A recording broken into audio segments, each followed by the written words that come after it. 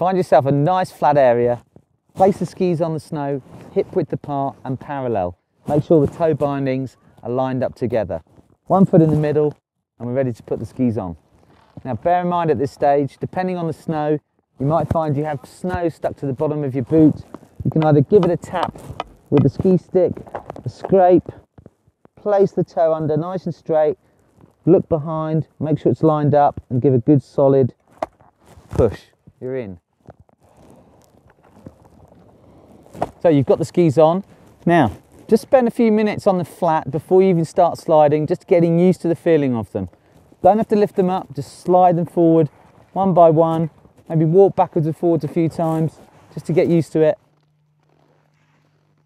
So it's now time to actually ski down the hill, but before we do that, we've got to get up there. There's no point in facing up the mountain, trying to walk the way you want to go. You'll simply just slide backwards and look like Michael Jackson doing the moonwalk. What we want to do, get our skis sideways and across the hill, and then just gently using your knees and ankles, roll the skis onto their edges and start to step up.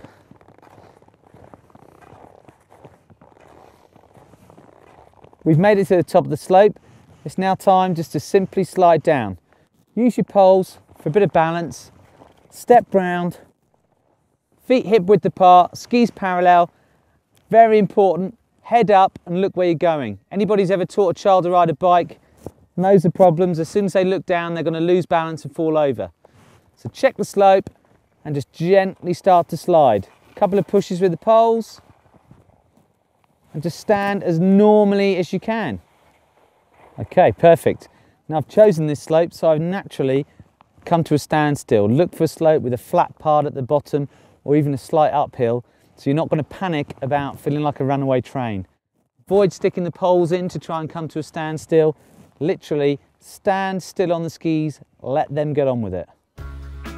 If you're doing this without your poles, it doesn't make any difference. Just relax and let the slope naturally slow you down and come to a stop.